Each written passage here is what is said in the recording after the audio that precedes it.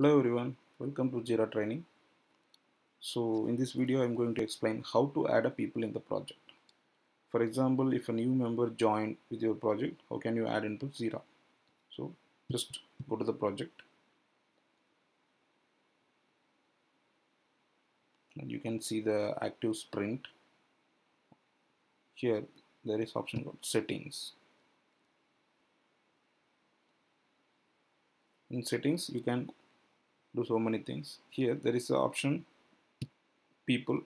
So once you click on people you can add people here. So click on add people. You can enter the name.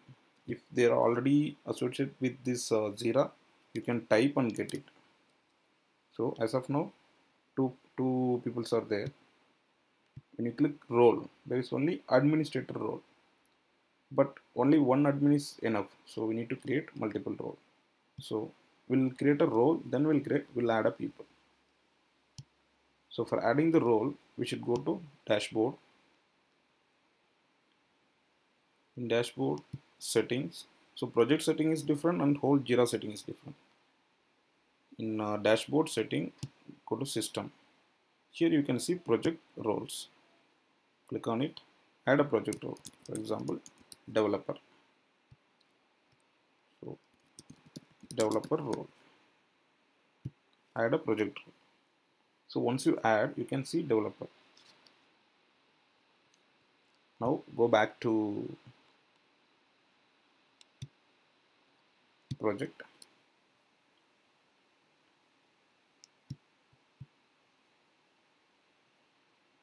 Click on the project.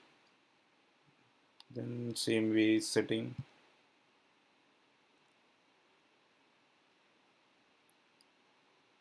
people. Now click on add people. Just see. Are you able to see developer? Yeah you can see developer.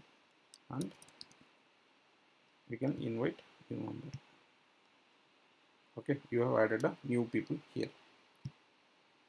So administrator can do like all the administration uh, like whatever he can control whole jira. And developer will have a certain permission. So we have created developer so this is how you have to add a user to the project. Okay guys. You have understood uh, how to add a users. If any commands or if any queries please uh, add into the commands screen. Thanks for watching and please subscribe